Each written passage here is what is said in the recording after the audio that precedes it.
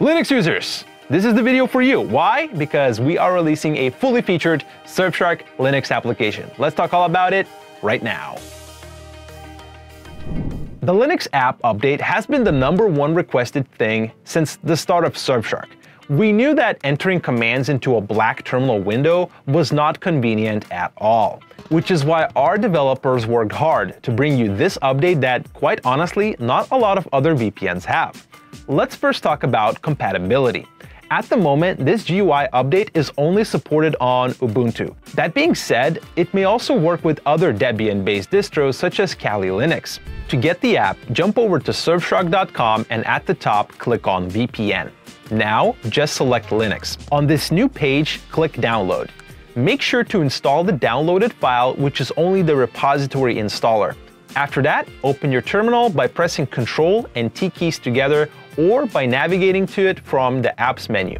In the terminal, enter the following commands. sudo apt update, followed by sudo apt install Surfshark. And that's it.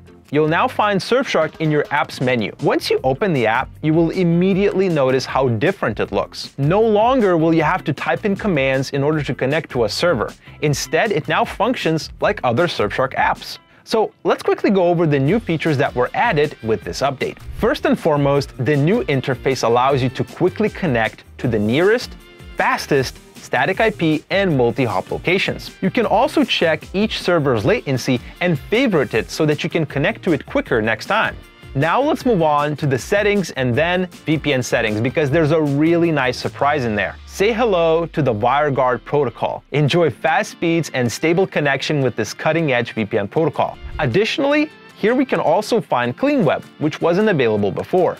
If we go back and go to the app settings, here you'll find theme options such as dark mode, light mode, or follow system. And in the Get Help section, you'll see options to access our written guides, report a bug, contact our customer support, and reset your VPN profile in case you're having issues connecting. Finally, we also implemented the status bar shortcut so that you can quickly connect, disconnect, or quit the app. We understand that the wait for this update was quite long, but we hope that the result is worth it. And that is all for this video. I hope you enjoyed it. Please give it a like if you did. Subscribe to our YouTube channel.